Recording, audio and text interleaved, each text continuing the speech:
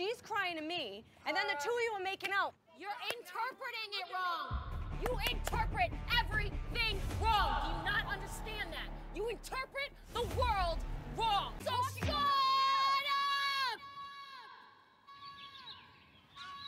Hey y'all, it's Renegayde, and it's time to spill more reality in another reality retrospective. Usually I'd take an unnecessarily deep dive and give a spoiler free review, but no, no, not today's scene. I mm-hmm. have words for the Challenge All Stars 4, and I've decided to take a different approach to this review because I am in no mood to hide spoilers, so this is your last chance to stop now if you have not watched the season. So, we have to start out with the fact that when it comes to the challenge, I've always viewed it more as a guilty pleasure show, more so than one of the top tier reality shows like Survivor, Big Brother, or Amazing Race. But over the last few years, you can tell that the challenge has made lots of changes in an attempt to really cement itself as America's fifth sport. While I'm still not sure what the first four sports are, I don't think anyone can question that the challenge features some of the most intense and grueling tests for their contestants.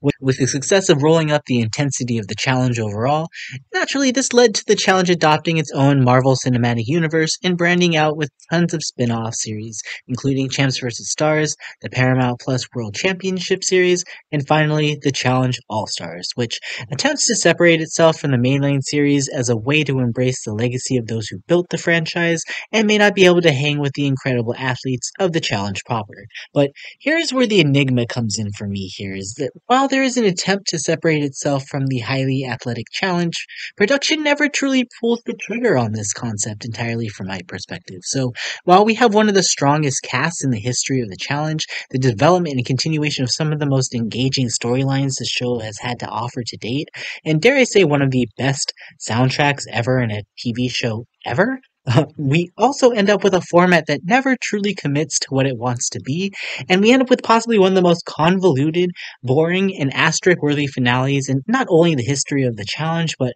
perhaps even the history of reality TV, as everything we've come to know about the show's format just completely unravels in the endgame. And it's not something that we're not used to here in the challenge. I mean, let's go ahead and go back to the Challenge USA for probably what is the worst finale that I have ever seen in my entire life. But you know what? Challenge All Stars 4 is trying to take the, the cake here too. And while I love the cast, the boot order this season is absolutely horrendous as well. Not to mention, while everything else is alright, we end up with two of the worst human beings ever in Laurel and Nicole, who have decided to rekindle their relationship much to the detriment of anyone who wants to enjoy the show because, spoiler alert, these two last for the entire season, and we're literally left with the storyline that sucks up far too much screen time. I'll be honest, I don't particularly like Laurel, as she seems extremely narcissistic and entitled, but I can't help but respect her legacy as one of the strongest female challenges competitors that we've ever had, but I simply cannot stand Nicole whatsoever. And you take all these toxic qualities of Laurel and just multiply them by 10, and you get Nicole. And now you combine the two together, and you end up with a relationship that not only do I not care about, but just made me cringe having to see the toxicity happen in real time. And, you know, to each their own, if you enjoy these two, you're more than welcome to. And it's not to say anything of them as people necessarily, more so as their presence on this show, because I do understand they are both great competitors but that doesn't necessarily mean I need to see their relationship from every single moment of the game. You know, there are plenty of other amazing, amazing stars in this cast. We could have gone to them.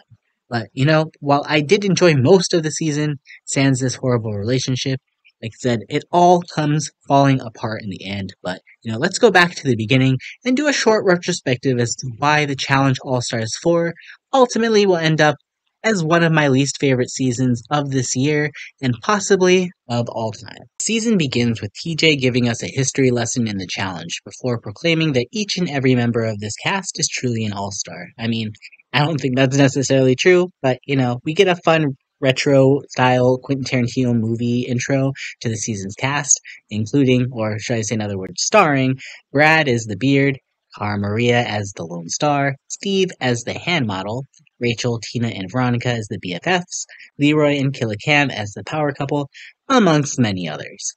TJ reveals the season is not just about excelling in the challenges, but building and forming relationships, and it's set up so anybody can win, which is our first indication this format will struggle to find itself. And it's like, no, Not anybody should be able to win the challenge, TJ. Just saying. After going back into the house and having a get to know you party, the real game begins the next morning as TJ reveals the twist of the season the stars. To be eligible to compete in the final challenge, players must possess a star, with only three stars originally available for each gender. The stars will be initially awarded to the top three players of each gender from the first challenge. The winners of the elimination rounds can steal a star for themselves if they do not already possess one. If elimination winners already possess a star, then they must steal a star it to another player of the same gender they stole it from. In an additional twist, the winners of the daily challenges are immune from having their stars stolen during the episode the challenge occurs in. We also learn that the challenge will have a certain number of last place players or teams that will form the losing group, who are at risk for elimination, while everyone else will form the middle group, who will decide which two members of the losing group will face off in the Arena's Elimination Challenge. I'll be honest, I love the format, and I thought it was really interesting and refreshing that there was a lot of strategy around the stars. At, at least I will say I enjoyed it until we learned what the stars were actually really for at the end of the day. But, you know, we'll save that rant for later, because y'all, oh no, you know it's coming. and also at the same time, too, what are with these names? The winning group, the losing group, the middle group. I'm like, okay, where is the creativity? Okay, whatever. Anyway. The first challenge is a race to match star-shaped puzzle pieces on boxes while making their way up the hill. The first male and female player to fit all eight puzzle pieces and raise their flag to the top of the hill wins, and the top three players of each gender will receive stars. The last four players from each gender will, fin- uh, will finish to form the losing group. It's not a bad first challenge. Personally, it seems rather equitable to match, you know, endurance with puzzles, and there is some tension as all the stars are up for grabs this round. Ultimately, Cara, Maria, and Brad win, with Rachel, Avery, Adam, and Brandon also becoming star holders, but their stars are at risk for after elimination as none of the players vulnerable have stars, so they can't have them taken themselves, so they must be taken from a star holder, which kind of sucks for Adam and Brandon since they don't really have much of a chance to save their stars since it's the first men's day. Now, the moment I saw Tyrie on the cast, I was like, ooh, this guy is going to be out in the first three episodes since I'm pretty sure his record time on the show is five episodes, so I'm not surprised as he and outsider Steve are quickly singled out from the losing group of men to go into elimination. And the elimination is actually pretty good as, you know, it's a mix of strategy, endurance, as well as physicality as they have to battle to grab balls with stars on them out of a pool with a bunch of other balls that are misleading them. It requires the players to focus and keep on their toes, and ultimately Steve's strategy to hide all of the balls he finds and put them into uh, like a little hiding spot he has, and one by one take them out at the end, literally saves him in a neck and neck elimination. So, well, I gotta say, I expected this result out of Tyrie, and ultimately, I don't think the season loses anything with him going first. I gotta say, I feel bad that he generally just takes such a beating in this show that Perhaps maybe it's just, you know, not for him, but if he keeps trying, let's hope he can at least last half of a season next time. Now, episode 2 was a dramatic one, and while it's good TV, it did leave me with a bit of an icky feeling in my mouth at the end of it. First off, let's talk about the positive, because the daily challenge was fun. They're split into groups of four and are suspended in an RV, having to listen to a radio show with hints on it as it spins to the ground. Once on the ground, they then have to use the clues to open luggage with puzzle pieces and then assemble a road rule style logo puzzle. Where my fun ended though is Nicole and Laurel get paired in the same group, which obviously has to happen immediately because editors want me to be miserable immediately. And we learn here that the relationship didn't end well and they cannot be bothered to talk to each other, yet it seems like this is the exact opposite case as they cannot do anything but talk to each other. The fact that they both literally have the same mindset on this shows just how terribly toxic they both are, but for whatever reason, people like Jay and Tony keep pushing these girls to communicate and work together, which is like you, you are all the reason why we can never have nice things on this show, y'all. Things continue to get even way more negative as Ayanna, Miss Salad Thief, has decided she wants Janelle out for whatever reason. Maybe she sees her as a threat. I don't really know. It's not really explained where this vendetta comes from, but she goes out of her way to slander Janelle and twist her words to the other contestants. Apparently, there was even a huge fight that was edited out of this show between Ayanna and Janelle, as well as Brandon, Kam, and Leroy, where Ayanna questions Janelle's blackness and called her racist, which, as someone who is biracial myself, it's very triggering because to have another black person say that you're not acting black enough when you're just being yourself is all sorts of toxic. But did we really expect anything else out of Salad Slaying Ayanna here? I mean, after all of the drama here, Janelle decides she's too grown for the childish antics and nopes herself right out of the competition, which I don't blame her for doing at all. I, I definitely have a lot of love for Janelle here. There will be multiple other seasons for her to possibly come on here without someone like Ayanna here, and she's generally been all of you know more of the more reasonable people we've seen on this show. So think she could actually find a lot of success on the show if she's willing to put up with this bullshit, but the challenge isn't exactly known to not be petty, so she best remove herself in the classiest way possible, and I respect that. At the same time, my girl Tina benefits from all of this now because she has no one to face off against in elimination after a hilarious scene earlier this episode where Tina attempts to strong arm Avery to no avail. Tina gets her revenge by stealing Avery's star and becoming the first star holder to get her star for doing absolutely nothing, which honestly, that's got to be the most Tina thing ever and just the best way that I could see her ever progress in this this uh, competition is to possibly make the final by doing absolutely nothing. Made me cackle so hard that of all people, Tina now has the possibility of sitting in a final, and tell me why again I would be so here for this.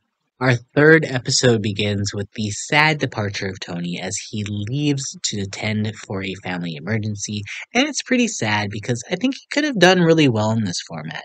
I don't really have too much else to say because you know Tony didn't really do too much on this season, but his departure is the unfortunate catalyst that allows Nicole to find yet another excuse to progress her relationship with Laurel as she cries to her for comfort, which is just like, "You stop, please."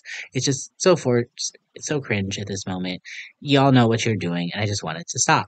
So this episode's daily challenge is also honestly pretty lame, as it's just dominoes, but make them heavy, and put them in teams. And it's also sad that Cyrus literally gets put into the game to replace Tony, only to just be thrown into elimination immediately with his contemporary Kefla.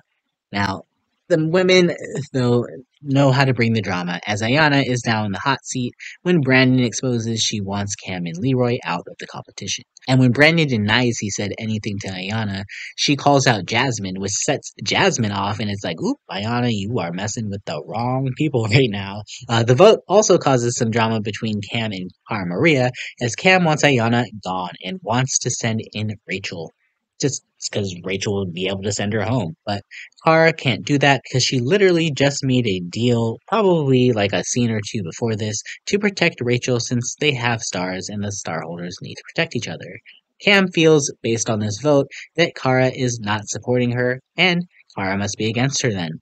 To be fair, Cara Maria doesn't play this well and should have just voted with the majority because Rachel was going in anyway, so why fuck up your relationship with Kam?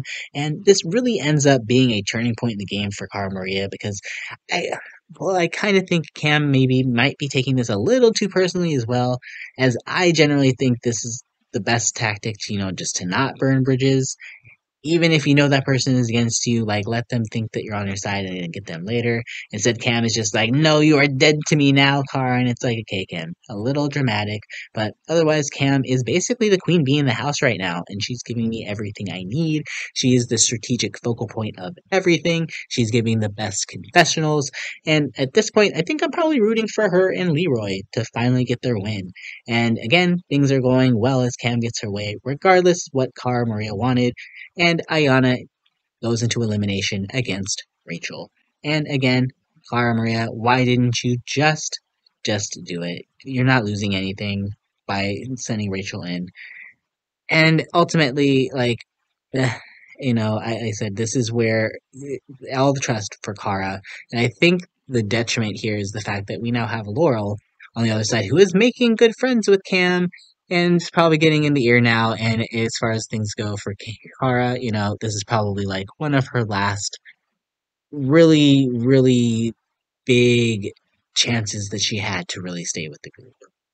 Unfortunately, the elimination challenge was, you know, actually was pretty good. They have to compete in a rather physical head-to-head matchup to push a ball through a tube, with their competitor on the other side of the ball pushing against them. Uh, Kefla really proves himself in this elimination and dominates Cyrus. And as quickly as he entered the game, he leaves, which you know are for the course for Cyrus, sadly, on these recent challenges. He was one of my favorite OGs, but honestly, he sadly just he just doesn't really have great challenge luck or skill. I don't know. He's kind of like Tyrie, and then I just kind of always expect him to go out first. So seeing them as the first two men to go, not that surprised. Um, now in the women's side here, Rachel dominates Ayanna as well, and in a very safe mood, decides to transfer the star from her BFF Tina to her other BFF Veronica, which ends the episode with a hilarious scream from Tina and continues to make me love the dynamic between these three, like to the point where they need a Mean Girls take a vacation four episode spinoff like Paris and Nicole's Simple Life, but make them older. I would live. Now, to speak a little bit on Ayanna, I gotta laugh because her narrative is so delusional from start to finish, but I think that delusion is what I kind of appreciate about her as well. If this is truly what she is like in person, though, well, and which I mean, I think it could be just based off of what she did the last time she was on the show, then I see why, you know, people would rather quit than play with Ayanna because she's a lot to deal with. Her presence is absolutely chaotic and so destructive. And while in almost any group I wouldn't mind this, you know, I really like this female cast. It's very super strong outside of a couple people, and I'd rather her go now instead of taking out one of my favorites. Although at the end of the day, my favorites left anyway, so I guess Ayanna could have stayed. Uh, but whatever. Um, I still think Ayanna is a great mother. I think she is really trying to do everything for her kids to do the right thing. But something about this competition, though, I think she gets a little amped up and starts doing some crazy ass shit, and maybe for the camera cameras. I don't know. But you know, at least you didn't eat anybody's salad this time. So that was episode three, and that was the the end of Miss Ayanna's short little arc here. Episode four, I was kind of like, eh, you know, as it sees Laurel and Nicole officially become nice nice with each other as the house turns against Cara Maria, while Tina continues to suck at politicking, which makes me smile because she makes me laugh. Now, Tina is unable to save her BFF Rachel from getting sent in as Jasmine makes her move to take out Cara Maria. I won't lie, Cara does not handle the news well at all and does kind of start acting like a victim, but it also seems very clear all the strong women are going to be targets, which they kind of always end up do being in most of these kind of reality competition shows. So I can't really blame her for being upset knowing this is likely her life in the game moving forward, but also still, it's not a very good look though, Cara, especially to the rest of the group. Now, this episode's daily challenge is also pretty good, with the daily being a, a, group challenge to unknot themselves while hanging from the side of a moving truck. But the elimination challenge was definitely a letdown, as neither of these women are really great at, you know, axe throwing, and it's just kind of not really that exciting to watch. Like, I definitely wish we got a better challenge for these two heavyweights instead of just watching them miss for 10 minutes until Cara finally beats Rachel and gives the star to Jasmine in order to put the target on her back, or as she would say, the Starget. Um, questionable move from Cara. I would probably put it on another strong female, maybe like Laurel, maybe like Nicole. Um, but you know, I guess throwing it on Jasmine too also is, does the same exact opposite effect because now you have someone who's so weak that it makes it just so easy to kind of take their star from her. And I don't mean weak as per se, but you know, Jasmine has not had the great challenge history here. Let's be real. Um, at the same time, too, I'm definitely bummed to see Rachel exit the game here. But with all of my favorites again basically being targets at this point, I see no way of escaping this. It's the point. This boot order is going to be horrible, and that's one huge blow to the season. Rachel always seems to be one of the first strong women targeted, and that sucks because this is like the first challenge she's been in in a long time. But you know, maybe Rachel can train me to make my eventual debut on the Challenge 42 Challengers vs. Podcasts, where I'll likely have my back broken by CT in episode 3, and Cyrus will laugh at me. Episode 5 continues the Laurel and Nicole time suck as they continue to get gross and suck focus from all of screen time. As it seems like they're kind of back together because they keep flirting, but behind Laurel's back, Nicole is also saying she's not really interested. So now it looks like she's kind of leading Laurel on. They have some gross cuddle session at night too, which includes someone's legs up on someone's shoulders, which I mean, I don't know, that's not the way I cuddle, but okay. Now, you know, they also do it in a room with bunch of other people, which I think is one of the nastiest things ever that these people do on this show all the time too, which is like y'all are so scandalous. Like get go to a bathroom, find some privacy. Don't be doing this shit out in the middle of the open. Like that's so that is so wrong. Like there is someone sleeping like two feet from you. Like that is disgusting. Anyway, Nicole realizes things are escalating too quickly, and thankfully at this point pushes Laurel away, which causes Laurel to go cry to Cara Maria. And I'm thankful at this point because I'm just like, please, please, Cara talk sense into Laurel, make Laurel hate Nicole again, and please just end the storyline now. Sadly, doesn't happen. But this is also the episode where Cara Maria's relationship with Kam and Brandon officially disintegrates. But it makes me like Leroy a little bit more here for at least being the mature one out of this group, as they just cannot get past this whole situation where Cara is upset that Brandon uh, did not support her last round and ended up sending her in. And she also thinks that Kam is taking the situation, the vote with the Ayanna situation far too personally, which I agree with the Kam part. The Brandon part, apparently, like, they don't actually really talk outside the show. Cara Maria apparently has one of the worst, probably, like, political games and, and social games ever, I guess, outside the show. So that that's not really anything I could speak to because I don't know what happens in their interactions outside. So. But, you know, if you're going to be playing a game where there's a bunch of pre-gaming, you might want to talk to your friends maybe once a year or so instead of leaving them hanging, you know, for like 10 years at a time, car. Like, that's a little awkward. Um, now, the daily challenge is also a lot of fun where they do a callback to Duel 2's bobblehead bobsled, and they have to chase down TJ down a bobsled track while also grabbing bags of water to replenish that that leaks out of their tube that starts leaking once TJ reaches the bottom of the course. Now, ultimately, Cara Maria's fight with Brandon and Kam comes back to haunt Brandon and Leroy too when they're both sent into elimination after placing in the losing group by Cara Maria herself. And Leroy wins in a come from behind victory in a kind of meh elimination challenge where they have to navigate five balls through a hanging maze and into five spots in the middle. And the episode ends as Leroy gets his star from Adam, who has the only unsafe star from the men, which will be a trend moving forward here. Now, Brandon was doing pretty well, and with the daily challenges, and I, I, actually enjoyed his relationship with Kam and Leroy.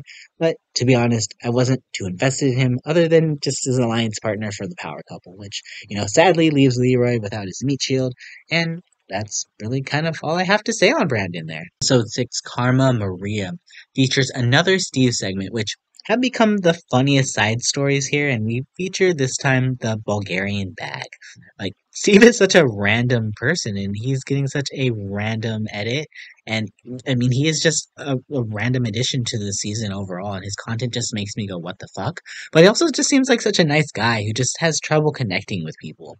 There's nothing wrong with being a bit of a loner, but when the rest of his content is a minute long description of his shower, I'm just like, "Oop, awkward." But I guess it also kind of makes me laugh too. But all of the fun quickly gets sucked out of the room as we do have to check back in on Laurel and Nicole as they're attempting to find a way to communicate without the sexual touching, which is just like, really, you can't be in a room without like doing something with each other. Like, ugh, you guys are so horny.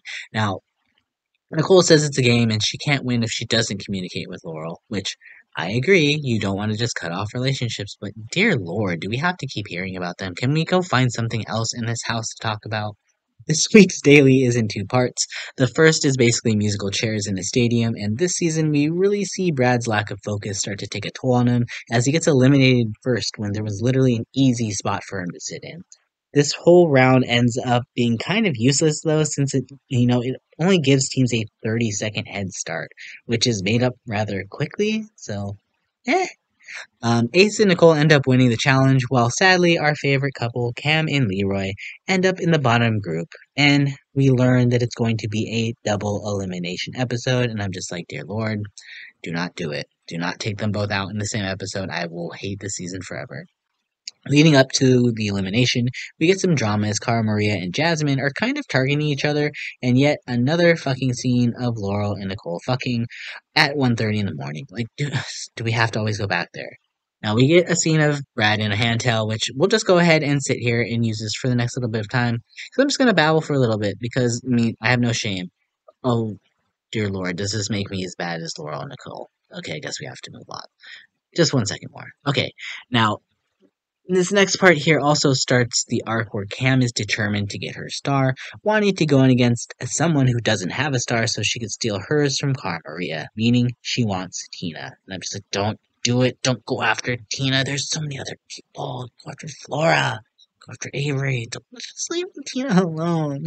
Um, however, Cara Maria sees through this strategy during the nominations, and after Adam speaks up about being kind of weird about just giving them what they want, Kam's plan gets blocked as Cara Maria convinces Adam, Avery, and Jay to defy Flora and Ryan's votes and send in Jasmine and Veronica to save her star, which wasn't a bad move on Cara's part.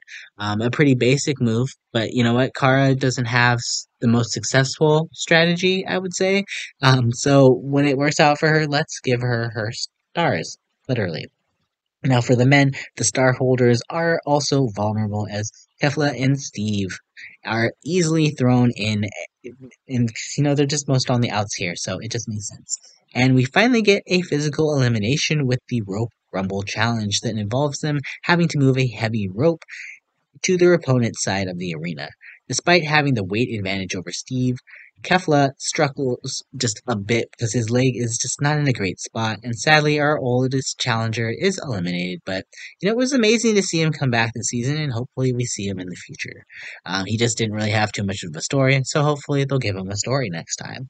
Now, for the women, this episode attempts to give Survivor 46's Maria for most indecisive challenge winner of the year. Um, you know, is trying to go off grabs for that because Nicole decides she's coming into the challenge. She wants her star, deciding first to face off against Veronica. But then Veronica convinces her otherwise and says that she was never working with Cara and there's no reason for her to go after her. So she decides instead to go after Jasmine, which is like, Nicole, it was an easy decision to start with. Like, what are you doing? But you know what? I agree with Kam. I'm not going to try to decode Nicole's thoughts because I could barely understand what Nicole says. So I'm just going to give all the credit to Veronica here for pulling that move out. And while I love, love, love Jasmine for the drama, I've got to be honest, I never go into these expecting Jasmine to make a final. So she's just one of those characters we enjoy for the time we have. And once again, Jasmine makes the most of it. But sadly, we'll be leaving at the halfway point. Episode 7 was a little bit eh, but we do get a nice scene here as we dive into Ryan's sobriety journey, while Ace basks in the glory of having a star given to him by Steve last episode for doing absolutely nothing. We gotta love this storyline from Ace, and I would love to be in the same spot. And we also get trivia for the challenge, which we always love. Now, Brad continues to be down on himself, especially when Ace decides at dinner to call out a challenge between Adam and Brad, incorrectly assuming Brad would want to go into elimination. But if you've read any of the postseason interviews, Brad was not in a great spot this season, and ultimately, Adam is just in a much better place to go into an elimination for the Cheat Codes challenge. And that's the challenge that we didn't get to see a couple episodes back here, which I'm so glad they brought that back as a side note here. But sadly, it means that Brad the Beard is eliminated. You know, and it's just unfortunate he was dealing with a breakup during the season because Brad is always one of my favorite challengers of all time. Obviously, we kind of knew something was up after he underperformed as a challenger in season 39.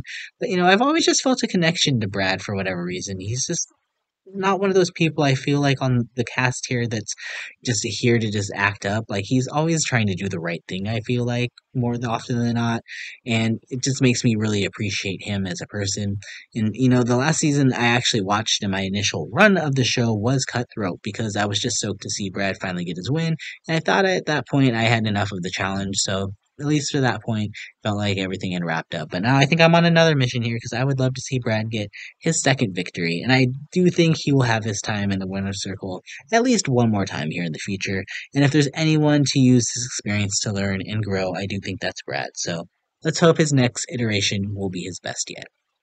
Episode 8 is more of the same as Laurel and Nicole is they have to be more in front of the camera and involved in all of the drama, as Cara begins the episode saying that she's trying to be a good friend to Laurel by saying that she needs to separate herself from her ex, and that she's ruining her game because of it.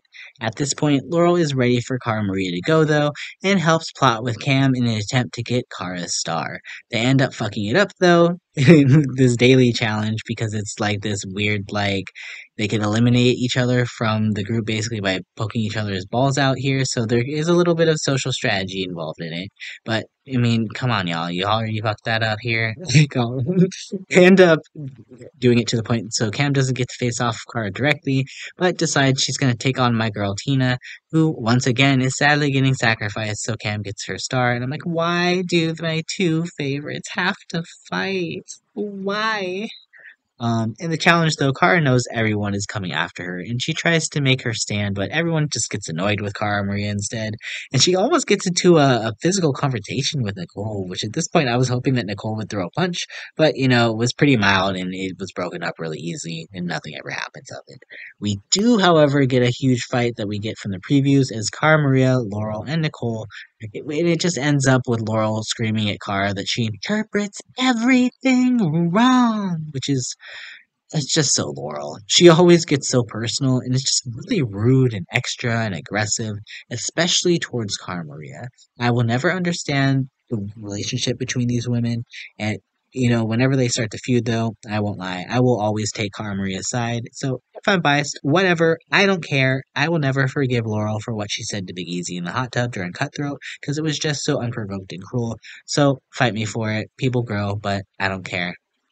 I I just I have never liked Laurel for that. So will always be in the back of my mind, and I just don't feel like she's ever really progressed or shown that much growth from it. So, just my opinion. If you think differently, feel free to comment.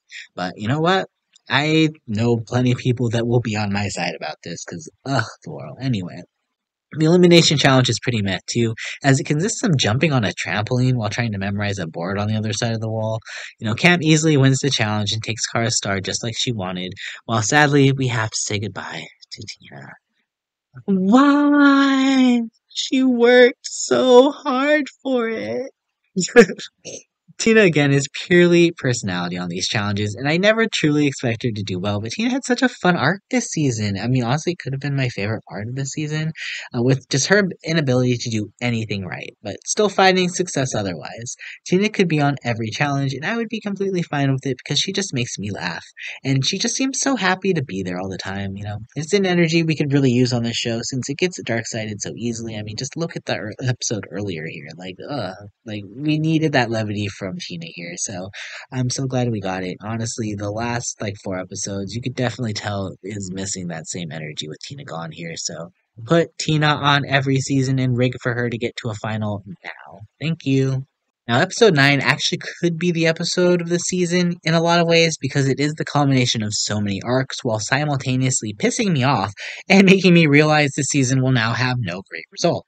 The daily sees them compete in a male female duo style challenge to jump off of a platform to grab a ball multiple times to lower another hanging platform with stars attached. This actually looks like a lot of fun, and sadly, Kam is not over her postpartum depression worries to get over her fear of the challenge, which automatically automatically throws her into the bottom immediately after just getting her star. So we go into this episode under the understanding that Laurel is ready to eat Cara's ego, which I mean, like, only Laurel would say something like that.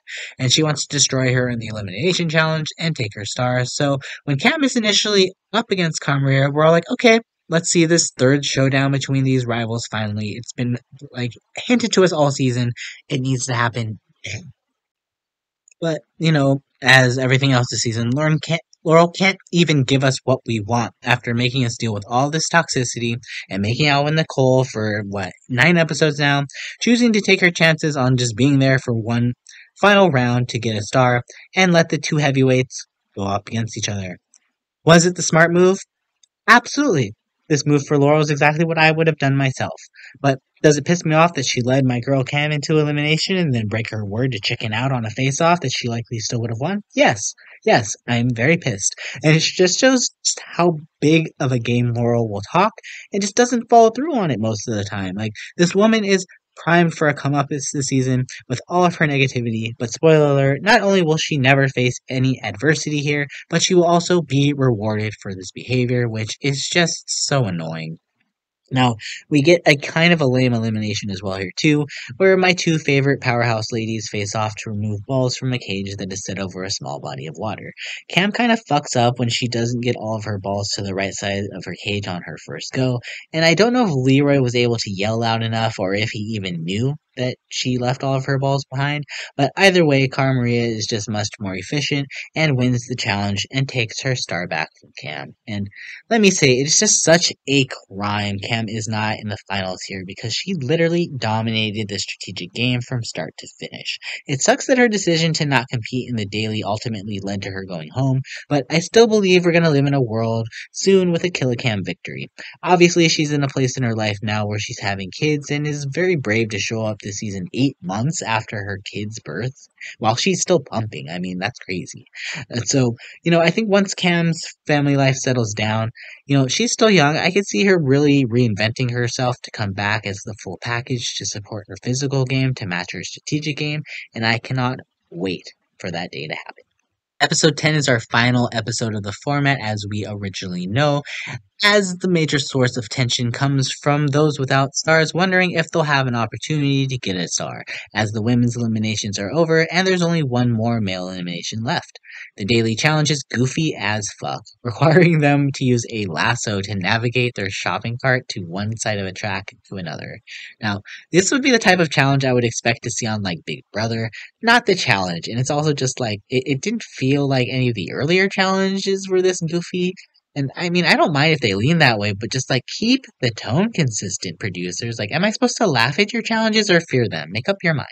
Anyway, Jay ends up crushing this challenge, just like he has in most of the dailies thus far. And I haven't really talked much about Jay this season because ultimately he's kind of irrelevant to the overall story, especially because he makes one of the dumbest moves possible under the fear of not getting a star, as he sacrifices himself into the elimination against Steve and saves Leroy from the challenge. But, you know, there isn't really a problem here, otherwise, of the fact that the challenge involves them removing colored tubes from the bottom of a tank and arranging them in order of tone.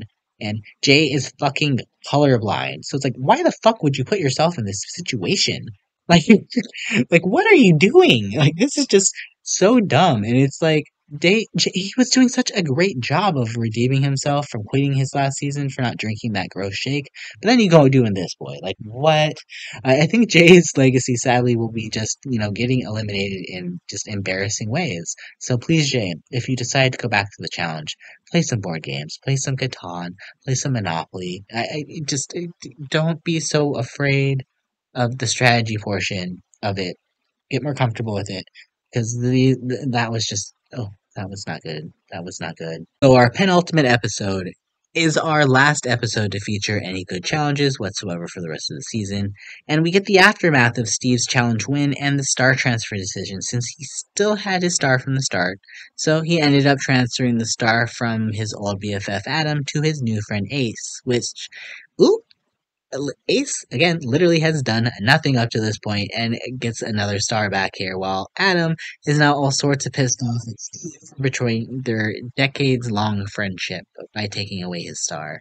And while I think Adam might be overreacting, you know, a tad, I can't blame him for being frustrated losing his star at the last minute, especially because TJ reveals that the traditional format is over and those with stars are through to the finals, meaning Adam just missed out as Ace joins Cara Maria, Laurel, Leroy, Nicole, Steve, and Veronica in the finals as they get to spend the day drinking and relaxing in TJ's RV, and they get to watch everyone else compete in the final challenge. Because, just as Laurel suspected and Jay incorrectly assumed, there are two more stars up for grabs in their final daily challenge that requires them to run a length and then tie a circular paddleboard.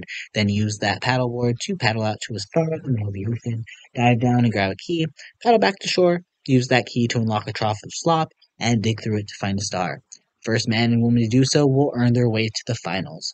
But before the challenge begins, Flora reveals that she's had enough, her body can't take it anymore, and I gotta say, I'm proud of Flora for lasting this long. You know, she's in her 50s. This is her first challenge in literally forever.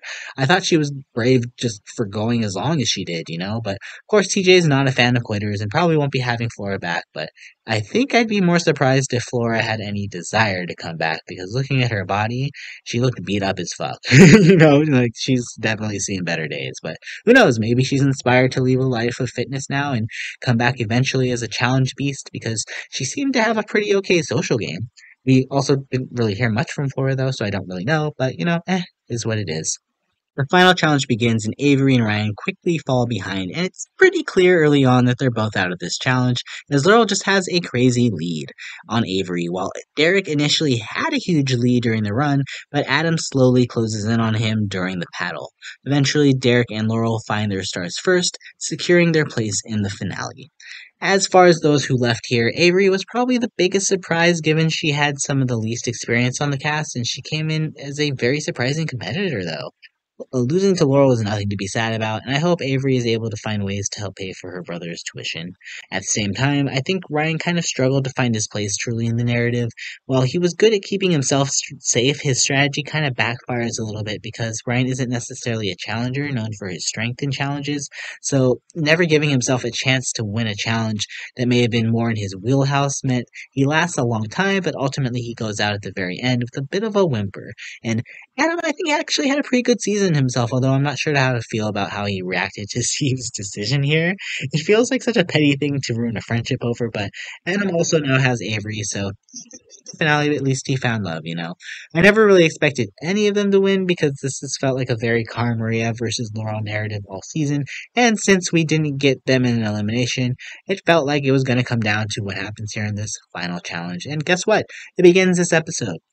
There's actually a really fun lead up to the challenge when TJ picks everyone up in an RV and drives them to the final, and it's a really fun sequence. This is what I'm saying when All Stars does not know what to make itself of. Because when it sticks to this campy ass tone, it's so perfectly cheesy like the older challenge seasons, and it feels like it would have really benefited this season to lean more into that. Because this is what we want here the nostalgia and the camp. But at the same time, though, too, there's also this side of here where we're trying to take things very intense. And the last few seasons, you know, we've seen very intense finals. So I think we've all had these expectations that these finals should be intense. But we learned the format of this final will be a lot less strenuous as there will be a series of checkpoints alternating between challenges for reward and challenges for elimination. And at the end of night one, only four star holders would be left standing to go on to day two. In their first advantage checkpoint shooting star, the players are strapped to the back of a race car who takes them along a high speed course where they have 100 paintballs to hit stars that are scattered along the course.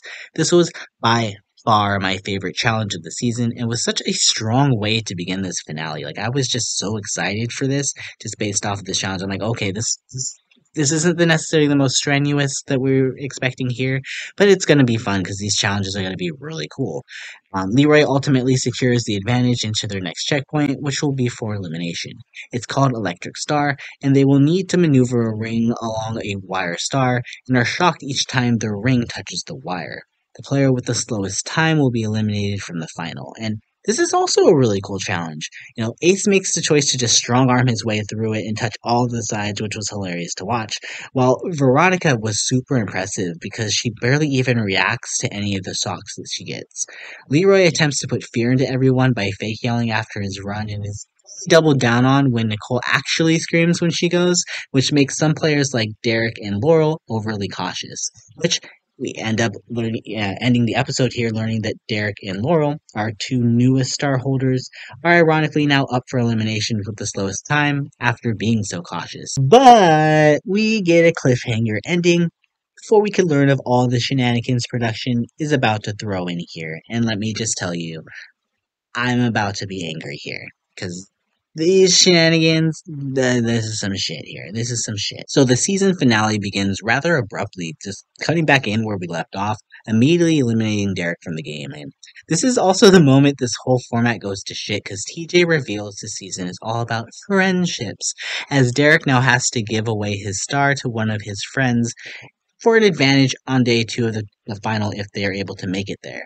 And apparently, Derek and Laurel have been BFFs this whole season as we get a montage of their special moments, like when they won a challenge together and when they won their stars last episode together, which is like, what the fuck is this editing? Could we really not have had included any sort of scene earlier this season to show that Laurel and Derek were friends instead of under editing Derek completely and giving Laurel far too much screen time with Nicole?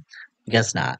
Anyway, happy Derek was able to make his goal of getting to the final in his sister's memory, but sadly, that will literally be all Derek really gets this season. But, you know, yes, we're doing it for the gays during Pride Month. Now, their next advantage challenge begins the downfall of any entertaining challenges for this finale, making me feel like they literally just overspent their budget in the last two challenges and didn't realize it until after this elimination. Their next challenge is called Spicy Foot, which, first off, what the fuck is this name? And second off, what the fuck is this challenge? Just having them use their foot to move a rope of peppers up and down? Like, why do these challenges get so stupid all of a sudden? Nicole wins it, unsurprisingly, because she's probably as intelligent as this challenge is, and she'll get an advantage in their next elimination challenge as TJ walks in wearing a saw trap built by a frat guy that they'll use in their so creatively titled elimination challenge, Balance for Survival. They will have to use this pulley system to tip a cup of water into their mouth so they could fill up a tube attached to them. And what is this fuck assery? Like, what kind of dumb fucking challenge is this for $250,000? Like, I cannot. You're telling me in one season they have to complete one of the most grueling courses ever where people die almost along the way. And this one they just basically play beer pong? I cannot, producers. This is so dumb. What makes it even more dumb is Leroy cannot figure out this pulley system and gets eliminated in one of the dumbest challenges ever. Like, this is some bullshit. Then it takes out the last person that I'm truly rooting for. Ugh. So gutted for Leroy. Just because like this could have been the challenge he really succeeded in. The edit made me really think Leroy had a really strong chance, at least to the point where he would get to the top four. So, uh, you know, I do have to say though, once Kam left, I did notice that Leroy's relevance it did kind of disappear a bit. But that was only like two episodes, so I didn't really think it matters. But you know, again, bullshit challenge, bullshit elimination. This elimination order is bullshit, bullshit, bullshit, bullshit. Now Leroy gives his star to Steve. We continue on with our night, and I wonder why I continue to watch this finale. Now, this this takes us to our final six, where they get their next advantage challenge, and we get a partner game called Hoseball, which I guess they're supposed to play three way soccer with fire hoses. It's really hard to tell what the fuck's going on here. Like it's just a lot of water, and it just keeps it's just hard to keep track. And I'm pretty sure people are kicking the ball and spraying people in the face. Like I know Nicole gets mad at some point, just starts spraying people in the face, which is like Oh, so mature, Nicole. But you know, yay for Ace and Cara for winning. I guess I don't really even know what was happening for that five to ten minute period here. But we move on to our next elimination challenge, our final of the night, called Bluff Night, where they compete in one of three timed tasks to get the shortest uh, time of completion. Each task can only be completed twice, and Ace and Cara Maria get to basically start the order as their advantage. They both take the easiest challenge, Firearm, which is the only exciting challenge here that has them get decked out in a fire glove to set alight four star targets and then chuck a ball at them. Steve goes next and chooses nailed it, which has him nail three nails into a piece of wood. Which. What is this low budget stupidity? I'm just like, come on. Uh, Veronica goes next and picks the equally stupid Marble Blast that just has our competitors roll a ball down a ramp through some random tiki inspired decorations, which where did the tikis come from? They're in South Africa. Why are there tikis here? Um, but anyways, they have to roll through the tikis and try to get through a hole at the end of the course. Um, what are these challenges? Like I know you need to find three things that are kind of like similar in, you know, difficulty, but uh, you, You've done so many great challenges. This is the best you can think of. This I I I don't know. Anyway, Nicole also decides to do the dumb tiki challenge, leaving Laurel to pound the nails. Then it turns out the ball ramp course was the dumbest decision, as both Nicole and Veronica are eliminated here. And honestly, I mean, I like the idea of this elimination, but these two tasks outside of the fire task were so fucking lame. And, uh, you know, I've talked about What's Her Face enough in my disdain for her, so I'm just going to acknowledge how proud I am of Veronica for her performance this season. Veronica was a part of the first Road Rule season that I ever watched with Ayanna and Yes in Semester at Sea, so I've always felt some sort of weird connection with Veronica, but she's had a bit of a rough time since she started the challenge. I'm glad she was able to reach her first final in a long time, and to be honest, she ultimately won the season, or had she ultimately won the season, then this format would have proved to me that really anyone could win it, and it wouldn't bother me so much, but here we are at the final four, and why does it feel like Cara, Maria, and Laurel were going to be in this endgame regardless? Steve completely proved himself in elimination countless times, so it's like, was there really anything gained from this format? Oh, Ace being here. Yay! Oh, okay.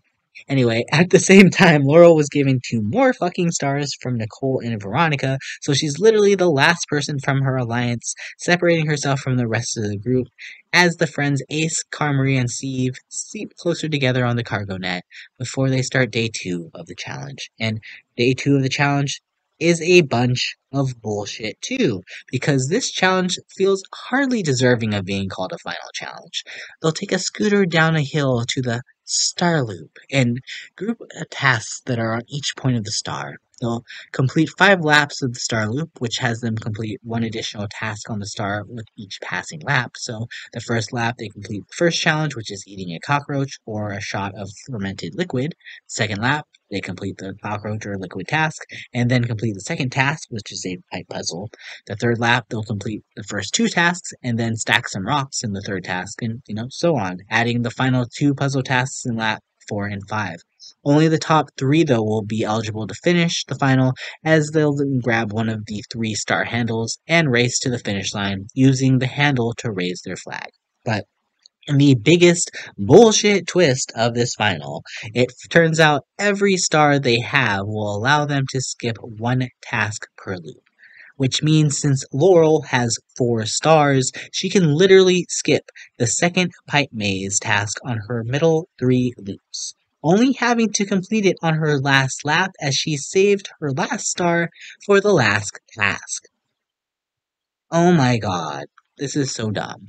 I think I've said bullshit uh, you know, enough times here, but I'm pretty sure Laurel had more time or more stars here than than times I've said bullshit in this whole entire video. Anyways, and even with this huge advantage, Steve is right on her tail and actually passes her at the pipe puzzle because since she skipped it three times, on her fourth time she's having a hard time figuring it out, and since Steve's done it every single time, he knows it right away. However, in the moment that will sadly go down in Blunder history, Steve fucks up, and his lack of final experience comes into play here as he misremembers the rules, thinking he can use both of his stars on the final two tasks. So, when he uses his star on the easy fourth puzzle station, the producers make him run back to strap into the final task, which takes forever to get him attached. And during this time, Laurel and Cara Maria both are able to use their stars on this final task and begin the race to the finish line.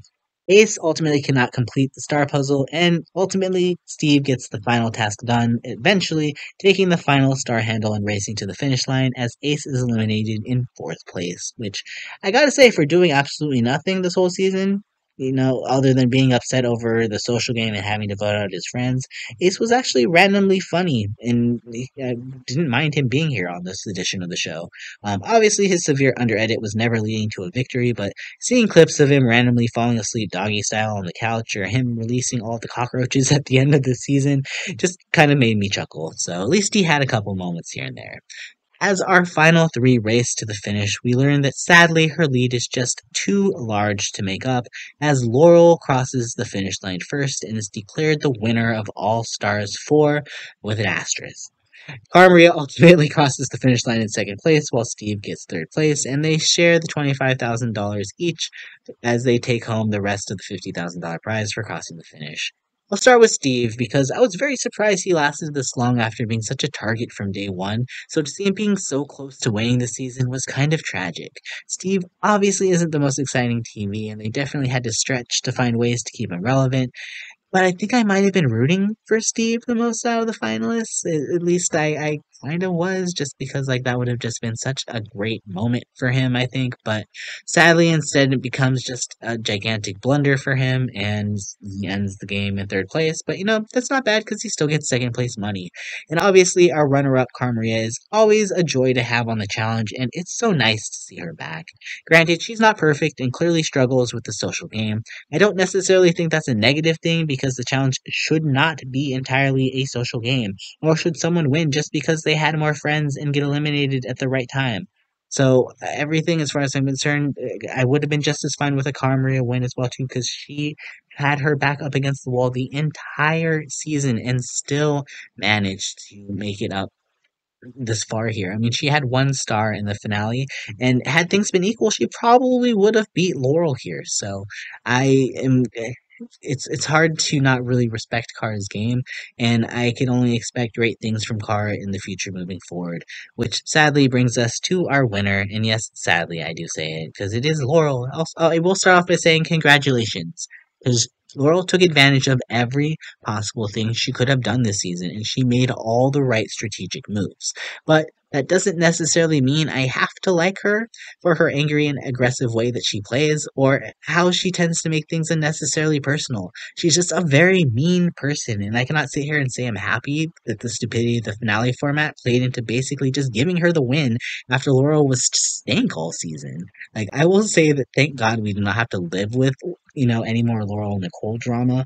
Although, you know, they've already had it on on Twitter. Clearly, they hate each other, and we could all sit here in shock that their clearly perfect relationship could no longer last.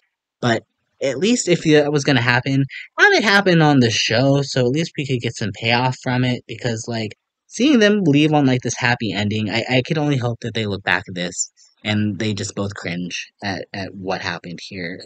but um, yeah, I'll just I'll be very honest here. This finale ruined any love I had for the season whatsoever. Perhaps my hatred wouldn't be that bad if anybody else had won, especially someone who is actually an underdog and not just one of the strongest competitors in the history of the challenge, but this format really struggled to commit to its intensity while ending on one of the worst finals I've ever scene. The winner basically getting the victory for having shortcuts is just such a lame fucking way to win.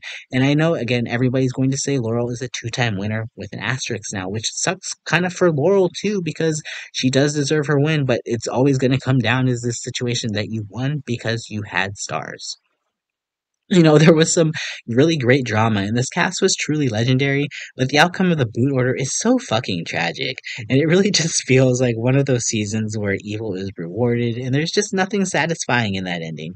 And I'm not one to necessarily rank a season based on its ending, but when the entire format changes at the last second, and that's basically what we've been leading up towards this entire season, I'm not here for it. And this season is, is exactly that this format endgame just did not feel like the challenge to me. So, is it right for one moment to ruin the entire journey? Not necessarily. But when you force me to watch Laurel and Nicole fight and bicker for 12 episodes only for Laurel to get rewarded for her toxicity, nah, man, I'm good.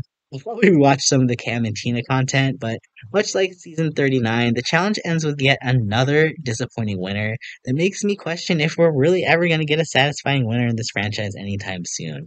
And we all say that just as the cast gets announced for season 40, and we can only start praying now that that will be so much better than this. So, sorry if you enjoyed All Stars 4, but it was not for me whatsoever. But I leave it up to y'all.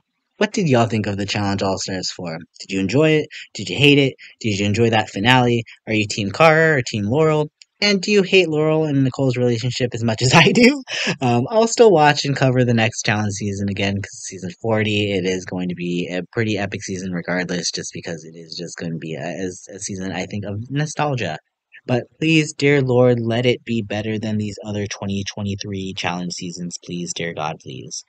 Until next time, keep spilling the tea, y'all. This is Renegayde, signing out. Bye! So I can go free all the cockroaches. Your furry buds!